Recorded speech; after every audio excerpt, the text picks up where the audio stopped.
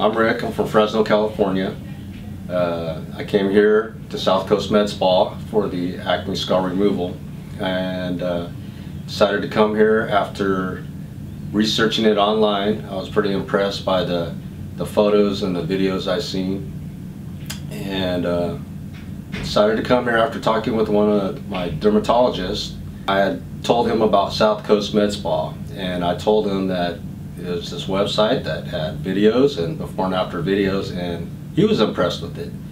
So that kind of encouraged me to uh, pursue this here. And so I came here and got the consultation and here I am and I'm anxious to get started.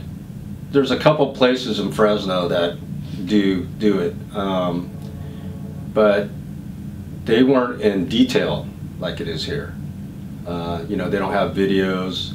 Um, maybe a couple videos of some people, I mean, a couple pictures of some people, but that's about it. You know, so it's you know here with the different types of skin type, and you know the different procedures they use for that type of skin type is you know kind of impressed me, and then it impressed uh, the dermatologist too.